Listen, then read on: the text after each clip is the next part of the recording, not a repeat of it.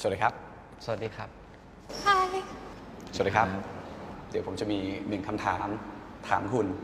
แต่ก่อนที่จะถามคำถามนั้น ขออนุญาตถามก่อนหนึ่งคำถามว่า คุณคิดว่าในชีวิตของคุณมีข้อจำกัดที่ทำให้ชีวิตคุณไม่เดินไปข้างหน้าไหมครับ มีครับ มีค่ะ มีหรือไม่มีครับ ก็มีครับ มี มีนะครับ มีครับเพราะฉะนั้นหลังจากที่ผมถามคำถามแล้ว ครับ คนที่นั่งอยู่อีกด้านหนึ่งจะช่วยคุณแก้ไขปัญหา ที่คุณตอบมา But right now you can tell me so what you consider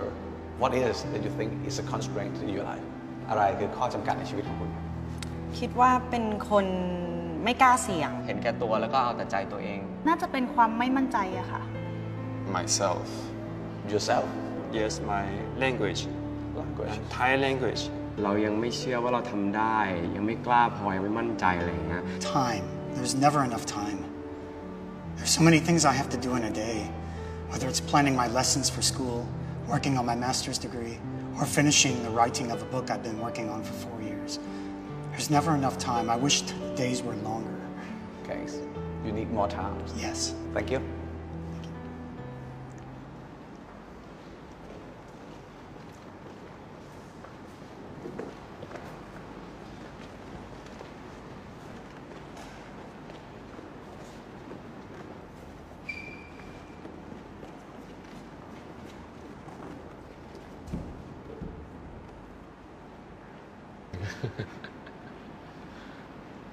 เอาละครับ ครับ เมื่อสักครู่นี้คุณได้ยินคนที่นั่งอยู่ข้างๆ เขาบอกปัญหาของเขาข้อจำกัดในชีวิต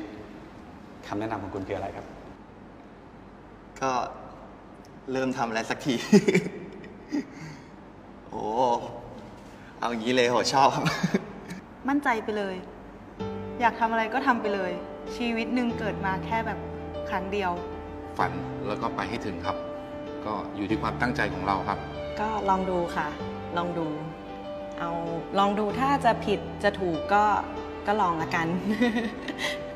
มองไปข้างหน้าแล้วก็มั่นใจ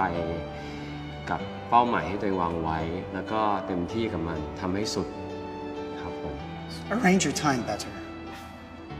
Don't spend too much time doing things that are not important. Exercise time doesn't have to be an hour and a half, it can be one hour. Uh, don't waste time playing Xbox 360 games at home. Uh, don't sleep too late. Keep meals short and small. I think those are the best things to do as far as time, saving time. Um, I'd tell him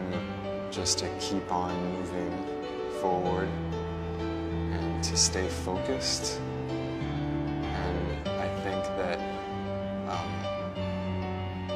Keep moving and you do trust yourself,